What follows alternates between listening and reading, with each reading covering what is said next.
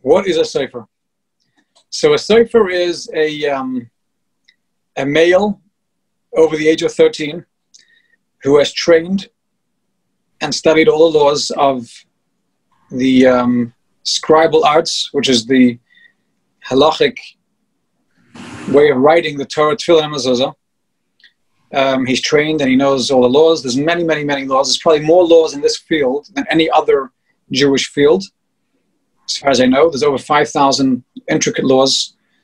A lot of laws pertain to knowing when you're allowed to correct something, when you're not allowed to correct something. Um, so the law is that he has to be a Jewish male over the age of 13, and he has to obviously be religious, and he has to he has to he has to be trained and know the laws. He has to be tested to make sure he knows the laws. So there's there's two parts of a sefer. There's the knowledge, and then there's the practical implementation. A lot of a lot of sefer know a lot, um, but they're not. It's like a surgeon. You can have a surgeon who knows all the books, but he doesn't have a steady hand. You can have a surgeon who's very, you know, he's, he got a very good hand, but he doesn't. He's not so familiar. He doesn't have the experience. So uh, you need to have a, a sefer is someone who really he's God fearing. Um, he knows the law and he's and he knows how to implement it well. So, the, so that was really what a sefer is. The question is, what is he writing? Right? What is the law? So a sefer is the one that writes the mezuzahs, the mezuzahs, the tefillin, and uh, and sefer um, we all know that there's a there's a mitzvah in the Torah that every single home needs to have a mezuzah on the door, um, and there's many laws, you know, which goes into how to write a mezuzah. There's a lot of laws on how to make the parchment, but a scribe really, a sefer really needs to know the just the, the writing. Today, it used to be that a sefer used to make everything. Used to make the parchment, um, you know, and uh, used, used to maybe a lot more broad. It would make the parchment and uh, it would make his ink. Today, the sefer would buy parchment. There's a lot of companies that make good kosher parchment, um, and he would know he has to learn how to actually write. Every day before, like you started off your session with putting stock into the tzaka pushka. My Magiyim put a stock, stock into the tzaka pushka and ask Hashem to help that they shouldn't make mistakes because it's not not that. You know, you can miss something. So you have to really be very careful. Try your best, but at the end of the day, with all the precautions that you put and with all get the best my game in the world, you get the best sight from him, the best whatever it is, you need to have siyata dishma. You need to have Hashem to give you a blessing that you shouldn't make a mistake. We always ask Hashem that we should, you know, nothing should come out of our hands which wasn't done right. Because at the end of the day, we're human, so a human can be human error. But uh, you have to set your standards right. If you have very lousy standards and then you say human error, that's called being reckless. If you have good standards and you try your best, you have to still dive into Hashem, but then you got to do it right. The uh, Pri Megadim brings in the beginning of um, Megadim is one of the great halachic uh, authorities. Go ahead. So he writes that the Yiras Shamayim of a Sefer uh, surpasses the Yiras Shamayim of a Shochet. The God-fearing, the, the integrity, let's say, of the of the uh, of a Sefer is even is even more than of that of the Shochet. The Shochet is, is the ritual slaughterer for kosher kosher meat, and he explains why. He says that when somebody is shechting an animal, and he messes up, and he does, you know, he used to be back in the day, he used to buy a cow the shochet and he would shecht it.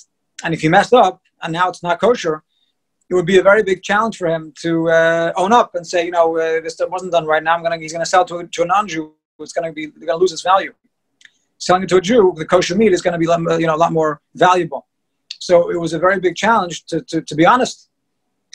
Uh, but if this sheikh wasn't honest, let's say, and he uh, couldn't control himself, and he said, yeah, yeah, it's okay, and he sold to the Jew, and the Jew now is going to be eating something which is non-kosher, but tomorrow, he'll buy a kosher piece of meat. So, you know, for he, he did a sin. And uh, I mean, it's not, it's not a small sin because really, when you eat meat, it actually stays in your blood forever. But, you know, for practical purposes, you, you, you eat it and then, then, for the rest of your life, you're going to buy kosher meat. However, in contrast to a mezuzah and tefillin, when a scribe, if he's not honest and he covers up his tracks and he made a mistake which is not fixable, that Jew who buys that tefillin mezuzah, God forbid, he may never know. And he could be making a blessing in vain every day on that tefillin. And he could be not protected with that mezuzah tefillin. And he'll never know. So this is something which is a lot more serious because this is a lifetime.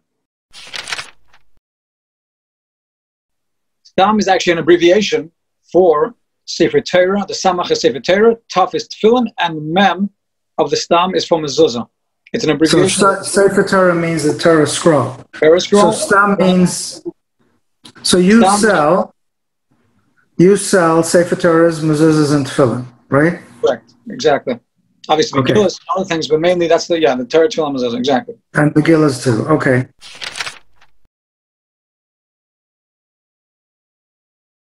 every single letter has to be written according to the law. Every letter has certain specific instructions how to write it. There's the core um, form of every single letter.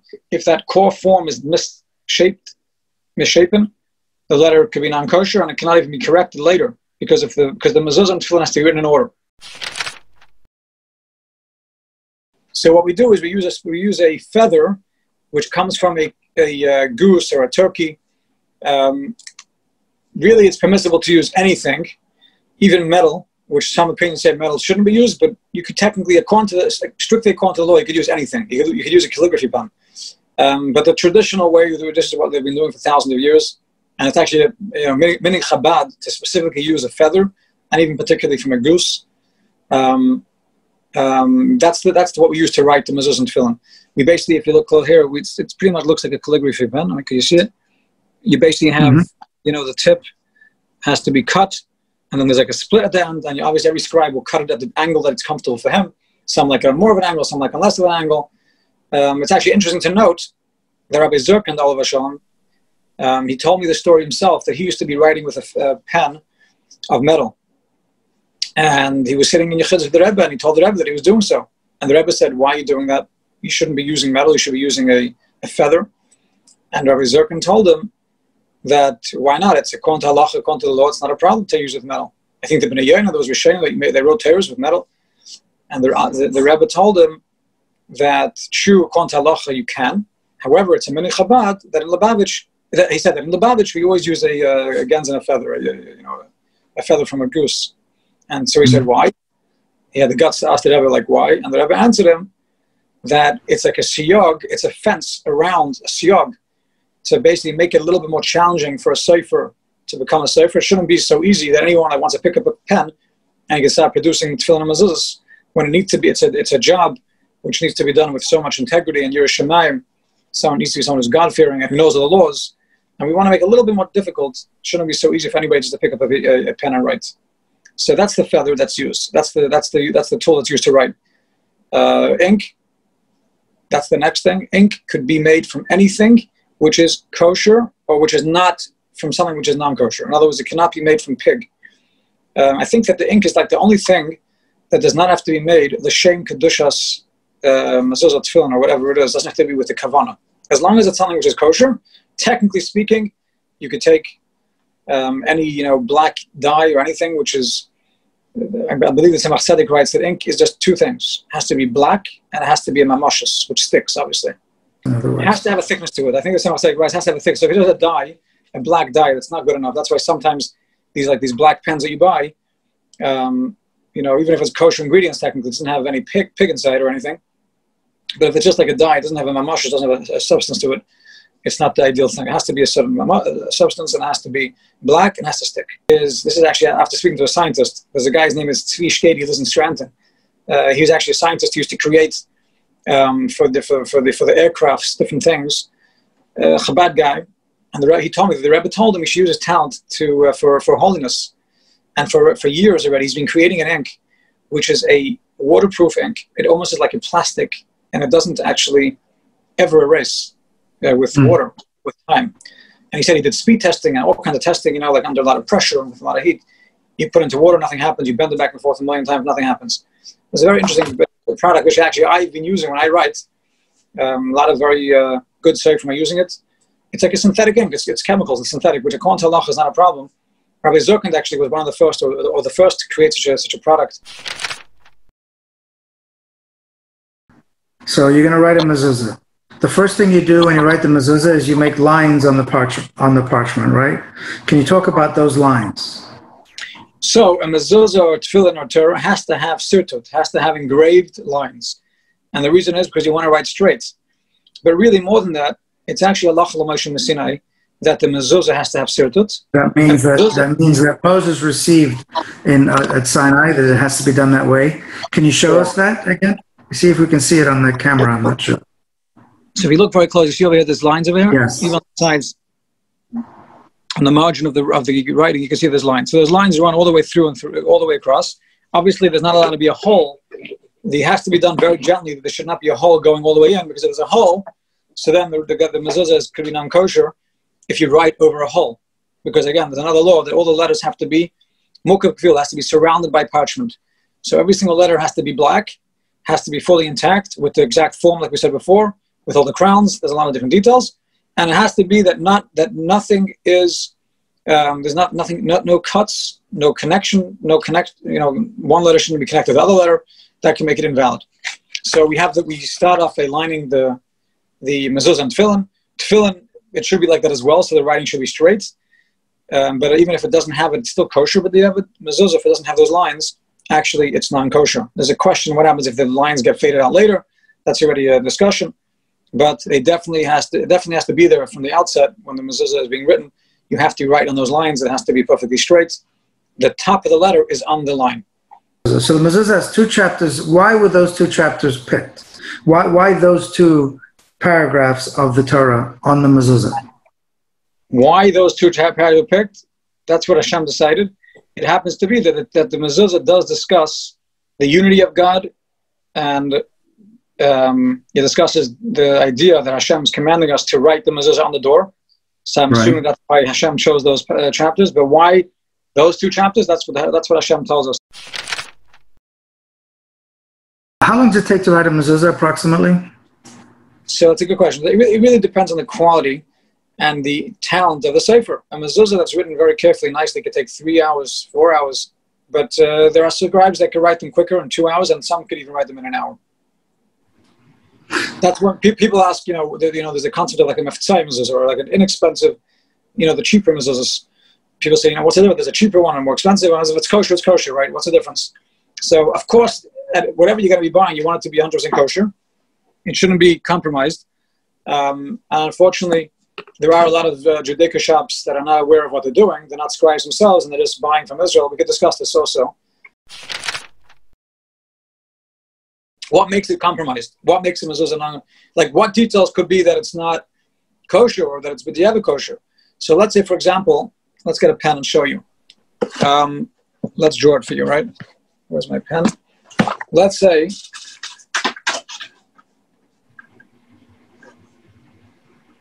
Okay. What letter is that? That's a vav. Okay, well that letter could be a vav, but let's say if I put it next to something else, let's say okay, you know, let's say let's say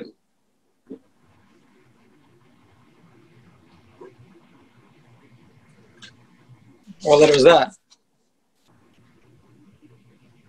Okay, that could be a yud because it's much right. smaller. It, it could be it could be a yud. It could be a vav or it could be a yud. So now, when you have a letter which is not written correctly. The Sefer is writing so quickly. We have this a lot. You can have a Vav, which is a bit too short. And sometimes it could be clearly a Yud. Very often you have a Yud, which is too long, it can look like a Vav. Um, a lot of times you have, there's, there's countless things which could go wrong when a scribe is writing very quickly or when he's not scrupulous, he's not careful. Very often there could be letters which are too close to each other. Letters could be touching one another. The spacing of the words, if the spacing is not correct, it can make it non-kosher. If you have two words looking like one word, um, and then every letter has to be the, the, the correct uh, the correct shape. Um, for example, the crown's missing, so that doesn't make it non-kosher, but it could be b'diavad kosher. For example, can you show us the crowns? Please? Show us the crowns of the mezuzah. So you see over here that on the letter shin and on the ayin there are three crowns. Yeah. If you look at the letter, if you look at the letter yud or the letter hey or dalit, I'm not sure is it clear in that picture. Um, bedek chaya, bedek chaya, beis dalit kof ches yud hey. Those letters have to have one crown the Shatnez Getz letters, Shin, Ein, Tesla, and Zayin, Gimel, Tzadik, including the final letters, have to have three. So the Shatnez Getz the three crowns of those letters, if it's missing, according to Rabbeinu Thomas, non kosher. Lahalacha, it is b'diavad kosher. Now, the Rebbe says, Safik It's a very serious thing, and it has to be there. We don't sell things without that. Um, so a lot of times we find missing Shatnez Getz. Um, my phone is on 20%. Okay. Um, if it's missing Belachai Tagim, so that according to most opinions, it's still a chatzila kosher, but it's not mahudr, and you're not supposed to So what you're saying, so, so let me understand. So what you're saying is that some unscrupulous uh, Sofrim, or those who just don't know, they're ignorant, and they're writing very, they're not writing them properly. So in the first place, the mezuzah is not kosher in the first place, or just barely, barely kosher. is a continuation to what you said before. Um, how long it takes to write. So if it, if, this, if the scribe was God fearing and he was doing his best, so you know it could be his best is to write a mezuzah in, in an hour, and it has the details in there which make it kosher, but it's not so pretty, it's not so beautiful. It has some details missing, but it has the details in there which make it kosher. But then there's a sefer who just doesn't know properly the laws, or he just doesn't have the talent to be able to produce a kosher mezuzah, and there are certain details in there which is missing which will compromise the kosher status. It'll be either it'll either be b'diavad, it'll be outright non-kosher. Are those the, like the cheap mezuzahs that you buy that are really cheap because they're just writing them without being, uh, knowing what they're doing? So if you pick up a cheap mezuzah, chances are it may not be kosher. Correct. The chances are, if you buy a mezuzah, which is like a forty dollar mezuzah, thirty dollar mezuzah, the chances are that it's going to be missing certain details, and very often it's going to be b'diavad or even worse than that.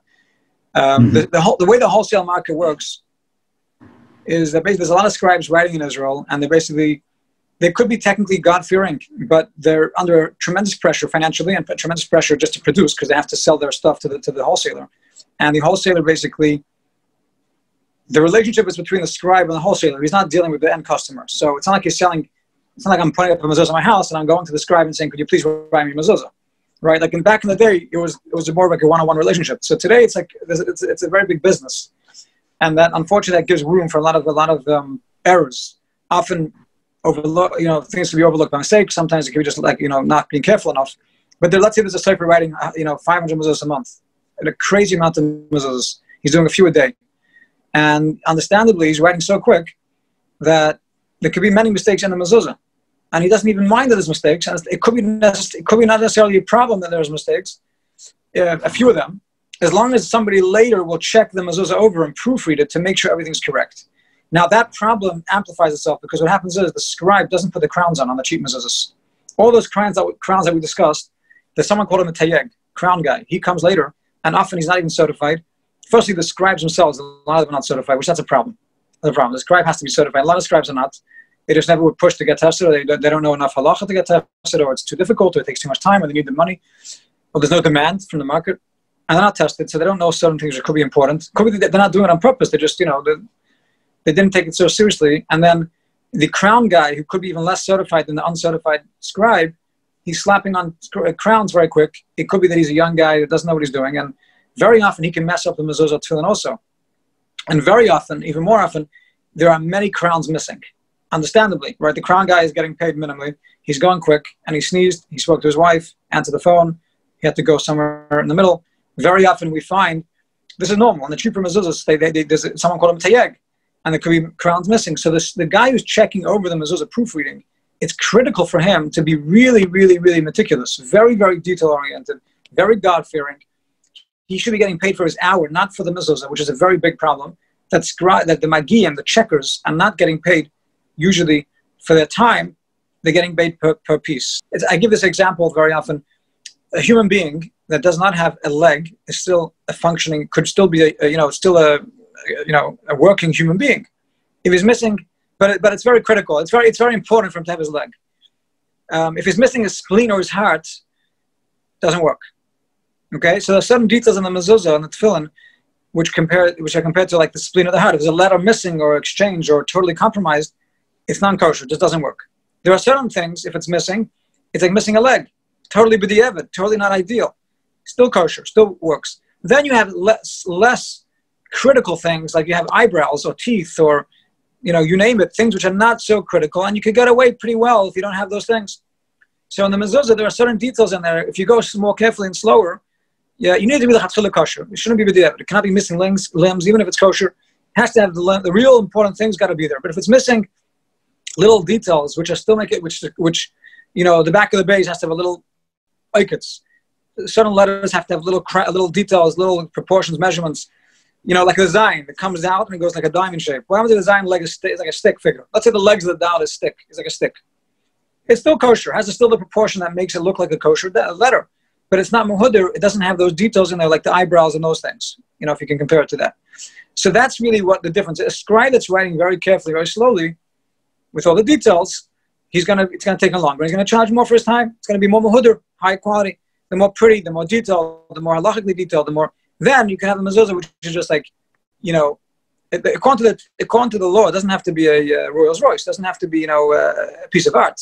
It has to have halachically the details in there. You know, you pay hundred bucks, you're gonna get a nice halachically good quality mezuzah. The difference between hundred dollars to two hundred to two hundred dollars, that is more like the difference between like a Lexus or even a Highlander and a getting a Rolls Royce. You don't have to get a Rolls Royce. If you buy a Rolls Royce for your own car, get a Rolls Royce for your mezuzah. If you're buying a Lexus, you should be paying 150 bucks for a nice mezuzah. But if you're getting a regular car, you don't have to spend $150 or $200 on mezuzah, but you want to be spending at least $85, $100. Get yourself a good quality mezuzah. The $50, $40, $30, you know, if you're lucky, it's like a kosher. My scribes, actually, I don't get from wholesalers. I try as much as possible to get from scribes personally. So uh, probably a big, overwhelming percentage of my things that I sell are from scribes that I deal with personally. But I definitely do still get my my goal is to not to have to deal with wholesalers. Why should I have to have a middleman? But there are still sometimes that I have a good item from somebody who I trust. I only get from very very few wholesalers that I do know well and I trust them. And when we get anything, whether it's from a wholesaler, from even from a scribe himself, we get everything proofread here at Machon Stam by scribes and by magim that I trust and that I know, and I pay them for their hour. Pay them per time. I don't. I don't pay people for for their um, for their what's it called? I don't pay them for the per piece. Um, I have a very interesting way of, you know, as an incentive, they should be doing things right. On the back of the mezuzah, it says the letters Shin, Dalet, and Yud, which is Hashem's name. We don't say it in the, the Hashem's name, but this abbreviation stands for Shomer Dalsis Yisrael, which means that God is protecting the doorposts of the Jewish people. And we know for, we know for a fact that this is the, the case. This is what God tells us. Um, I mean, I myself could tell you stories of people who brought us mezuzah and tefillin, and we, you know, we, they, they, told us different things, and we noticed that there was, you know, we, there was problems in mezuzah and tefillin. I mean, I could tell you a story from today. Actually, I videoed a guy saying a story today. Amazing story. Unbelievable. Guy lives very close to Heights and he had a son who had a serious, serious brain uh, tumor, and they did a surgery a year ago, and he was suffering tremendously. They were worried that maybe he has other side uh, health issues. He was, they were very concerned that they found other, maybe other things. They're doing blood tests. Anyway, basically, he came to us. He decided on his own to get a brand new pair of tefillin and brand new mezuzahs for his house. He got very nice mezuzahs and a beautiful pair of tefillin. And then he said that the next day, his wife, his wife was in tears and said that you know he, you know, the kid he was swimming for three. hours. He was in tremendous pain. He couldn't walk properly. He couldn't swim. He couldn't do things that he wanted to do. He was in tremendous emotional pain, tremendous physical pain. And he basically, uh, the next day, he was able to go walking and he was swimming for three hours without interruption. And, and, and the father told me today that he went on a hike with him yesterday the, on a steep hill. And the kid was fine for hours hiking and he had no pain. And he said that he's no question in his mind that the tefillin and mezuzahs did miracles for him. And when you have a mezuzah on the door, of course, you're making a statement right? You're making a statement that God, you're inviting God into the house, so to speak. The mezuzah, the protection that is that comes along with the mezuzah is not just a side benefit. It's not just like a bonus. The protection that that mezuzah brings is part and parcel, is embedded into the DNA of a mezuzah. So much so that the Rebbe told people to even carry mezuzah with them in certain instances. It's not something which it says in the Torah, but the Rebbe brought out the power. The Rebbe told in, in, his, in his talks, the Rebbe spoke about how a mezuzah just the mezuzah itself, not even doing a mitzvah. A mezuzah is protection. And therefore, the Rebbe told people to bring it, you see in the letters of the Rebbe, someone who wasn't well, put it under your pillow in the hospital, a pregnant, someone who's having a baby, um, you know, but leave it, have a mezuzah in your car. I don't know if these were official things, but the Rebbe spoke about the power of mezuzah, unbelievable. And there, anytime somebody had any issue in his life, the Rebbe would tell people, did you check your mezuzahs in the last 12 months? There was a point that the Groner even wouldn't even tell, wouldn't even let someone into the Rebbe before they checked the mezuzahs and tefillin if they didn't do it within 12 months, because that became like an like a typical, you know, like a generic response, because it was such a such a it was a, it was an obvious thing that if you check your mezuzahs and tefillin, almost always your thing would fall into place. And I can so, tell you myself, I, have witnessed you know, hundreds of stories, hundreds of stories. We had a couple that came to our office uh, you know, several months ago, a South American couple, and the wife, when they had two kids sitting on the chair, you know, in the chair sitting in my, in my uh, waiting room, she tells me, she's like, "Do you remember me?" I said, "No." She's like, "Well, we came five years ago. My husband, he started putting on tefillin for some time, and, and we weren't able to have kids. I wasn't able to conceive. And you showed us that in the letter shin, on the bottom, there's like a little disconnect. And um, she said that she was, true, you know, nothing was going. She said, you know, we got a new pair of tefillin. Within 30 days, I conceived. She told me, and these are the two kids that we had since then. She said, now I came back. I want to buy mezuzahs now. She told me. Anyway, we have a lot of stories. I mean, tefillin mezuzahs, just like the mezuzah has a shin, dal, and yud, tefillin also has the shin, dal, and yud. The tefillin on the top on the shel rosh has the shin, has the dal by the knot, and the yud by the kesher yud. So tefillin also protects. So we have to be very careful to make sure the mezuzahs are kosher, the tefillin are kosher, and not less important that the placement of the mezuzahs are in the right place. Very, very, very often, even if you could have the best mezuzah in the world, if you're missing a door, or if the mezuzah is not the right way, or it's upside down, or if it's you know on the wrong side of the doorpost, it's a problem. And you're not you're not getting the protection, you're not doing the mitzvah. And the Rebbe basically explained and said that the mezuzah is the, or a bad or a mezuzah which is non-kosher doesn't, God forbid, cause anything negative to happen. That doesn't make a bad thing happen. The Rebbe rather gave a, comparison of a helmet, and the Rebbe said that a mezuzah is like a helmet of a soldier in battle. Then when you're fighting in battle, if you're not wearing a helmet and you get shot, it wasn't that it wasn't that the helmet caused you to get killed. If you're wearing a faulty helmet, it wasn't the helmet caused you to get killed. Rather, if you're wearing a helmet, you're going to be much better protected, a much better chance of getting protected. So we all never said how in today's day and age, or always, a Jew needs godly protection, and there's nothing more, more, powerful than having God protecting us. At the entrance of our home, we have God on the, in the, in, on the mezuzah, which says that God is here and God is watching you and God is with you wherever you are, and that protection is the most great protection that a Jew could have.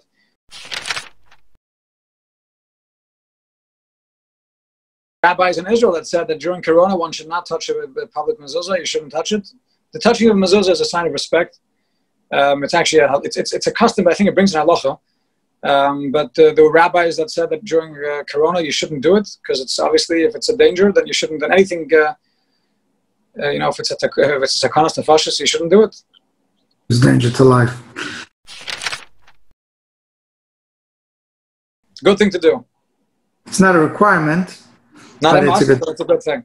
What's even more important is to keep uh, put a tzedakah box in your car and put a chumash and a tehillim and a tanya which your rabbi could I just want to say they sell they sell these little car mezuzahs, which are pieces of paper and not worth anything.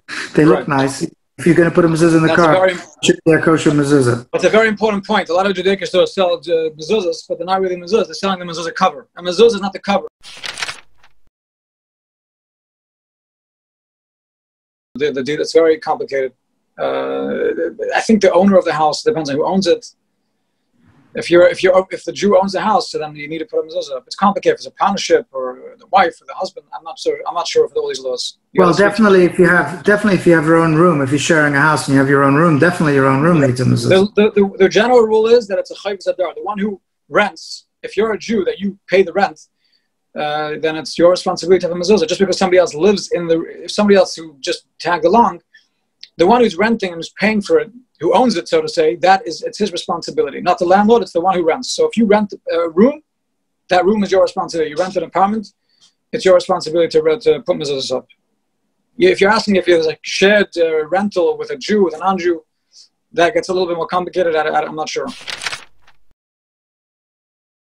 The tefillin is um, we put on, on our arm and on our head. And the tefillin has four parts of the Torah. So there's, in addition to the two that the mezuzah has, it has another two. What's unique about those four is that those four have in them also the mitzvah. It talks about putting on, putting on the tefillin all, in all those four parts, right? Correct.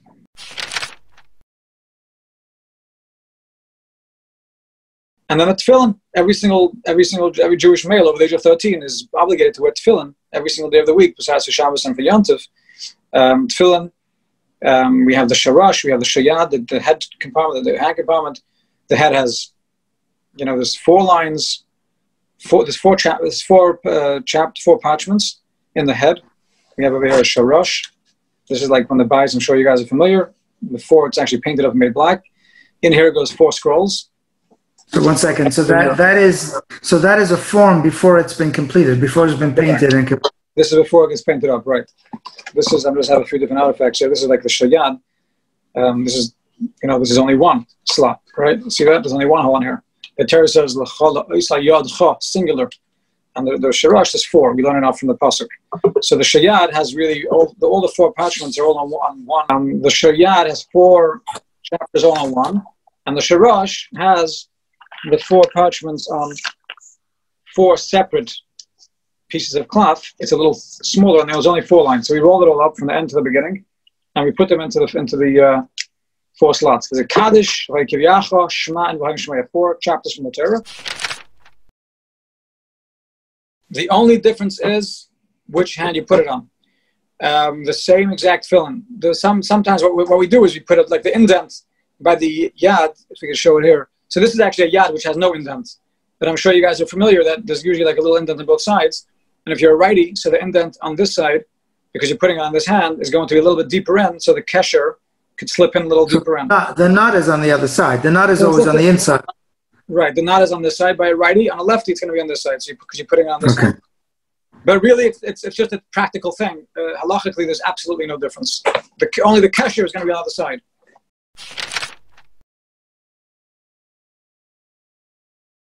Rashi Rabbeinu Tam is basically uh, the, the, the Rabbeinu Tam basically disagrees with the order of the of the Shema and the Vayim Shemaya. According to Rashi, there's first Kaddish Vayikiviyacha, Shema Vayim Shemaya. According to Rabbeinu Tam, you go Kaddish Vayikiviyacha, Vayim Shemaya, and then Shema. In so you're saying in which order the four portions are put into the into the tefillah?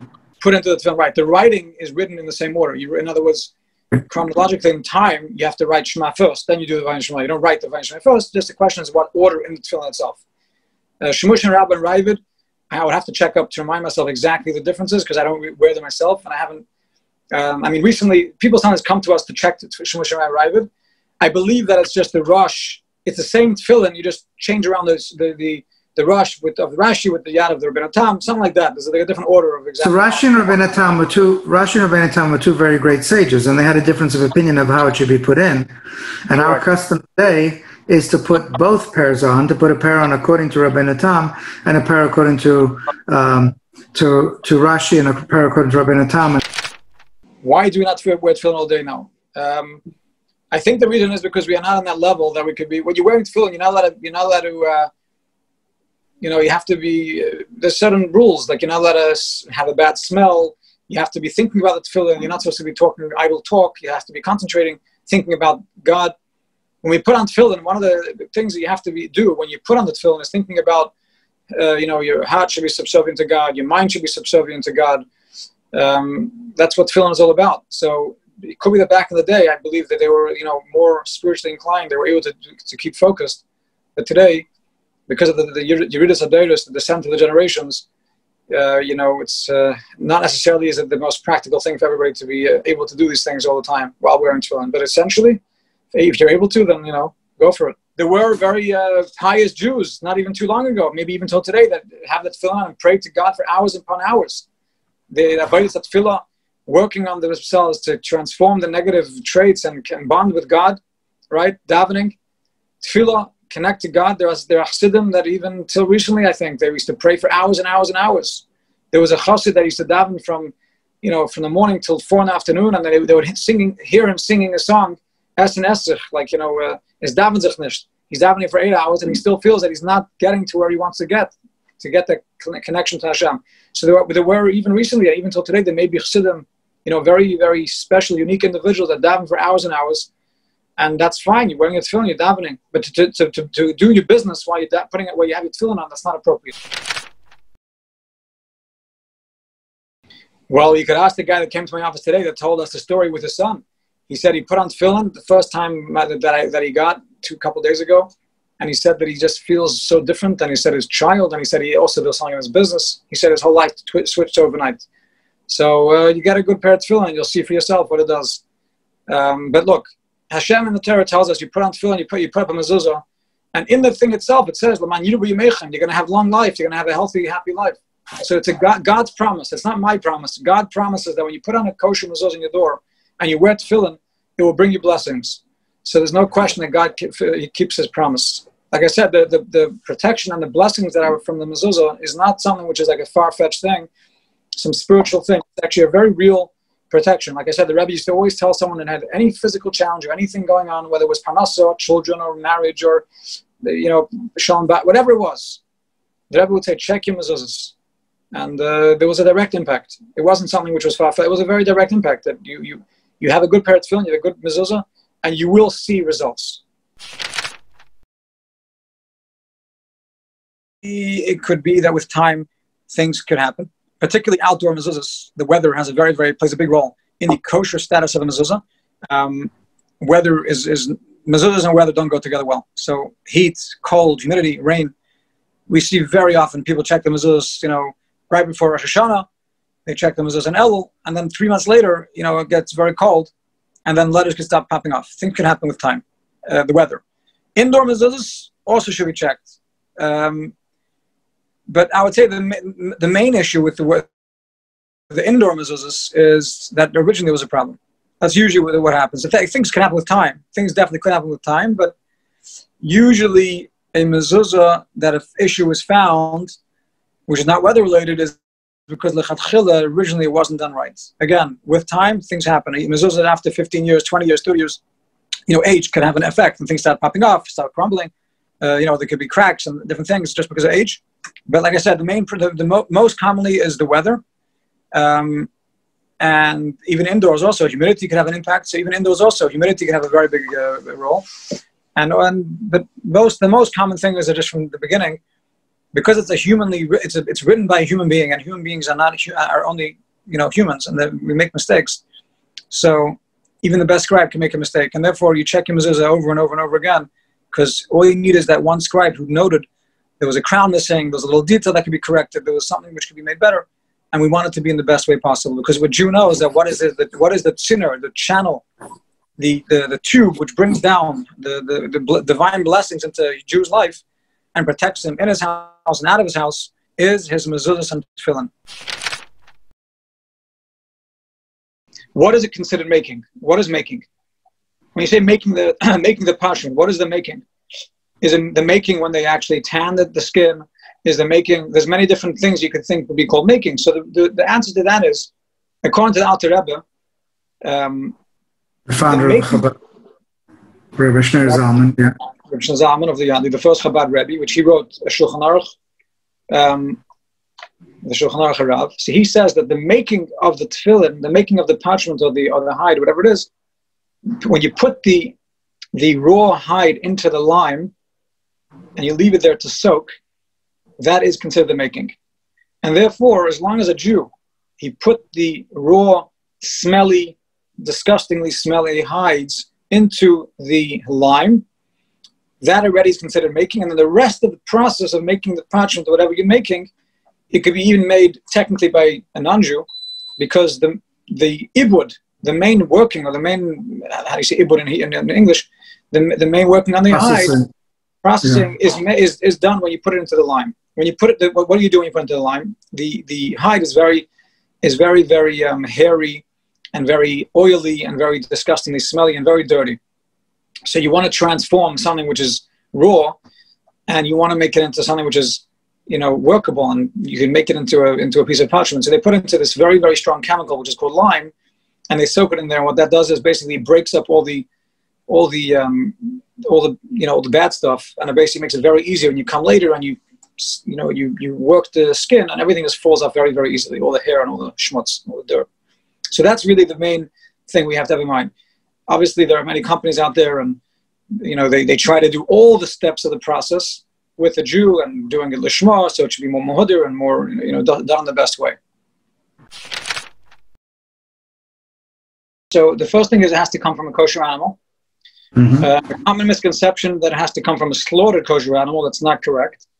There is a hiddur. It's like a nice, it's an extra thing, but it doesn't have to come from a slaughtered kosher animal. You could take a, a cow that was killed and which is going to be used for McDonald's, and you could use that for your tefillin or for your Torah. It's not a problem at all. As long as it's a kosher kind of animal, it has to be coming from uh, a min hamutar it has to be from a cow, an animal which could technically be used uh, and eaten. Doesn't have to be practically slaughtered in a kosher way, but it has to be a kosher kind. Um, it has to be uh, made every step of the way for the sake of the mitzvah. So it has to be a religious Jew that is uh, making it for the sake, has to be the, the for the kavanah, the shem mitzvah tefillin, and the shem mitzvah Torah.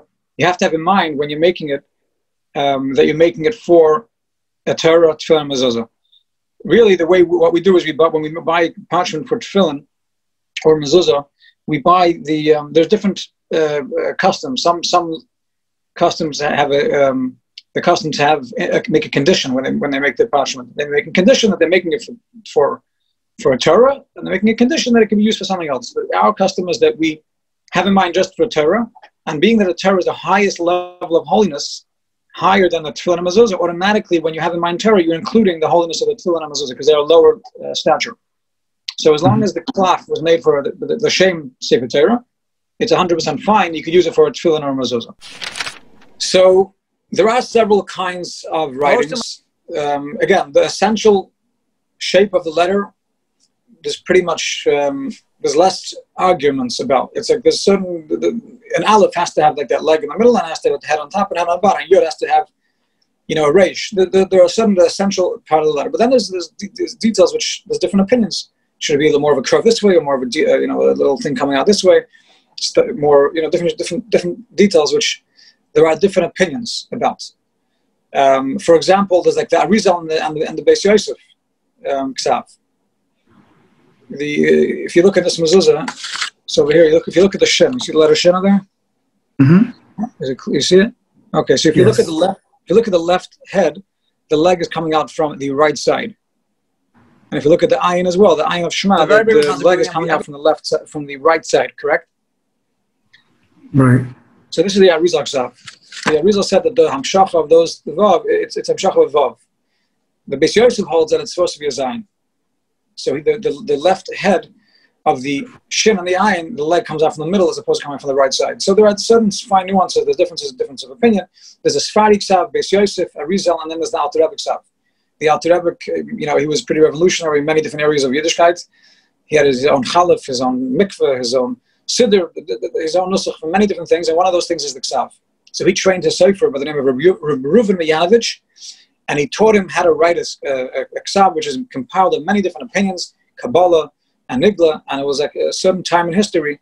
He told his talmid at a certain time of the month. Now is the time, right before Mashiach comes. At this time now, there's going to be a new light in the world, and we're ready for this ksav. And he basically, there's many very interesting stories regarding this. But uh, the Alter Rebbe ksav is a, is a ksav which is only, you know, since the Alter Rebbe's times, a couple hundred years ago. Uh, it's an Arizal based Ksav. It's more Arizal, that's not Beis Yosef, but it's really like a combination with many different other things. Um, but like I said, all the Ksavim have to have this. They're all the same, the same Nusach, the same text, the same letters, the same Torah. They're just slight variations in the style of the writing. I got I got certified by Mishmer Stam. Um, they are a very uh, famous uh, group of uh, you know rabbis who are trying to you know keep the keep the integrity of this field, which is very important, and they've been doing a good job for many 50 years already. The Rebbe gave them blessings, and the Rabbi Vosner tested me. Uh, but there are a number of this. The, but that's in Israel. There are you know different. You know, the main thing is that it should be a respected beis din who or a respected rabbi who knows the laws himself and who's giving a certification that the that the scribe is, is uh, knows his stuff, just like a doctor, right? They say why when you why, why when you go to a surgeon you got to make sure that the surgeon has a, you know, certified. But when you go onto an airplane and your life's at stake, you don't check to see that the credentials of the, of the pilot is good. Uh, what's the reason? So it's very simple. The pilot's the, flying the plane, right? Exactly. You're going, he's, going, he's going with you. But when you go into a surgery, or when you go into a spiritual surgery, so I, I, I look at it as the scribes check mezuzah and tefillin as like a preventative surgery, preventative medicine. We're doing like a very, very um, very deep, serious surgery, but it's not very invasive in the physical uh, sense. We're not touching the guy's, you know, skin, but it actually could do a lot more, and it can prevent, you know, God forbid, surgeries and all these kinds of things.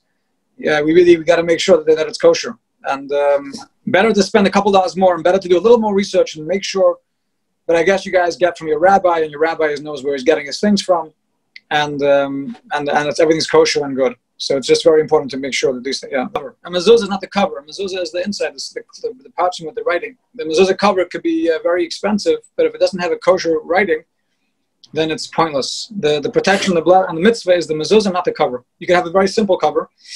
It could be 100% kosher, and you can have a very fancy case, but it has nothing in there, so it doesn't really do anything.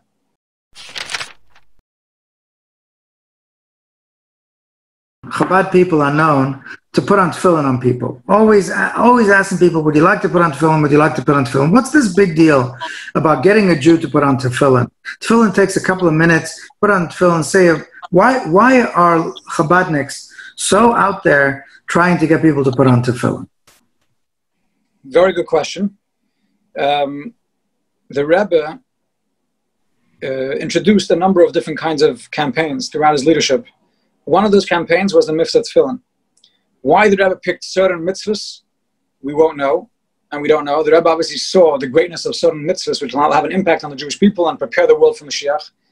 Um, but what's interesting is that uh, the Rebbe did make, make a huge thing out of tefillin, which uh, today already there are other other communities, you know, even the Litvishe communities are also going and doing mitzvah tefillin. You know, back in the day, they were saying, "Why you? What are you doing? You're putting on tefillin on someone who didn't wash or he's impure." All these things you know, the Rebbe addressed, and there's absolutely no problem. And tefillin is a mitzvah from the Torah, which outweighs all these other things. And, and already today, the whole world is already doing mitzvah, mitzvah tefillin. And the whole world, Jewish world, understands the value and the importance of doing tefillin. It's a mitzvah from the Torah. There are many different things that, that, are, that the Rebbe discussed. Uh, one of them is that when you put tefillin on, it's like tying down the animal cell. You tie it down, that negative inclination that you have. You're strapping down that dog that it shouldn't be able to make so much noise. It basically it, brings a person closer to Hashem. It, it, it connects his mind and his heart um, to God uh, that there are four things you have to have in mind when you put on tefillin, which that's the, the, the essence of tefillin. Subservience of your heart.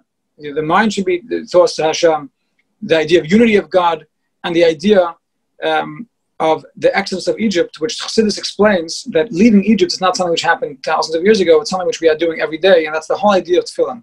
The idea of tefillin, which really runs across the, the through, throughout Yiddishkeit, the idea of leaving Egypt, that a Jew, it's, it's, it's, something which a Jew has to constantly be leaving his boundaries. We all have our little box that we are comfortable with, and we don't like to leave that little comfort zone.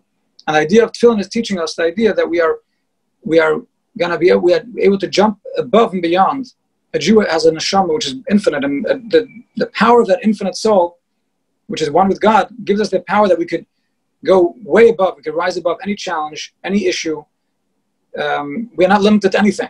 So a person has to contemplate about that idea that when you're putting on tefillin, we are connected to Hashem, we have an Hashama, and doing a mitzvah tefillin is gonna, this gives us that power that we could rise above any challenge in the world. We have no nothing stopping us from rising above any challenge, any difficulty, any challenge. That is the real uh, deep, deeper, the pnimius, the, the, the, the, inner dimension of leaving Exodus, leaving our Mitzrayim, our Mitzrayim, the Gvulin, our limitations and our boundaries. Um, and that is the that I mean, this is just what I suggest that maybe why the Rebbe, you know, the power of tefillin is, is, is unbelievable. Um, and the 51 years ago in 1967, by the Six Day War, I think, 67, right? Before my times, I think it was 51 yeah. years ago, when the Rebbe launched the, the Mitzvah Tefillin. And the Rebbe came out by Lag BaOmer right before, you know, there was thousands of people in Crown Heights by the, on Eastern Parkway by the Lag BaOmer parade. And the Rebbe spoke right before. The Rebbe, you know, there, it was a very scary time in Israel. And the, the president, he was, you know, they were already preparing mass graves. The, all the Arab countries were going to destroy Israel and going to wipe them off the map. And the Rebbe, you know, prophetically said, nothing to worry about. God is watching the Jewish people. And when the Jewish people will strengthen themselves in being mahadir and mitzvahs, and, you know, being more uh, meticulous in doing mitzvahs, particularly the mitzvah of tefillin. And the Rebbe quoted from the Pasuk, where it brings down that when a Jew puts on tefillin, it brings fear to the people of the world. It says, V'yaru you're going to have fear. When you see the tefillin shebarosh, you're going to have, the, the nations of the world are going to be, be scared. And we saw in the newspapers that um, you know, pictures of the army drive, you know, driving their, their tanks down to the front lines. I mean, you saw the Chabad mitzvah tanks with their uh, weapons of the tefillin. You see soldiers putting on tefillin. And uh, we know the amazing miracles that happened in the Six Day War.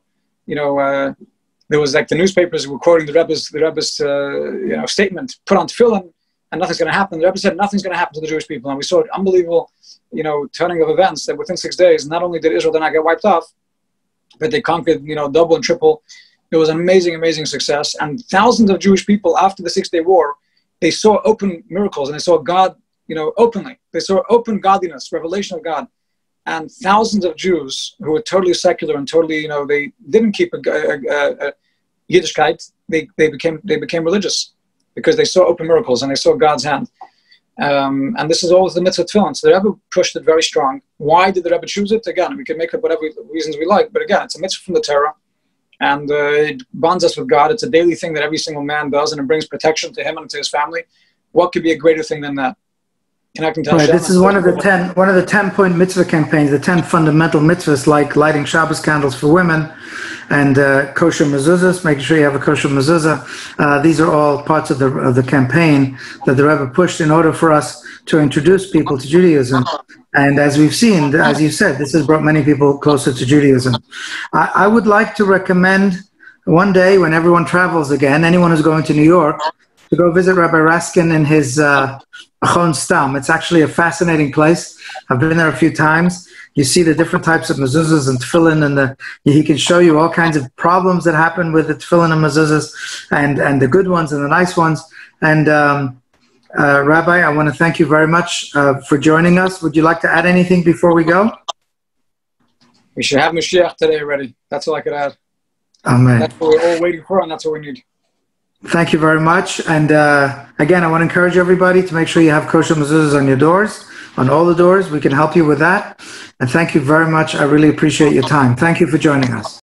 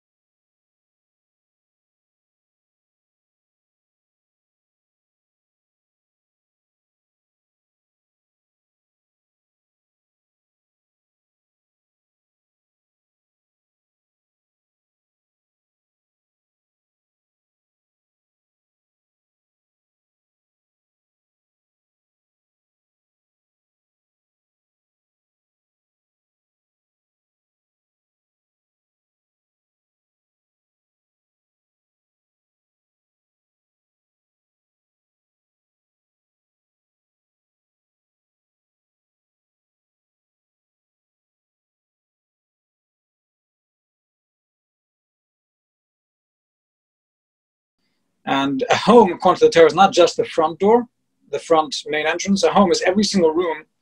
So this is like another entire field, but just on one leg. Any any room which is used, you, you put things there, you eat there. Um, even a storage room, every single room, besides for a bathroom, needs to have a mezuzah.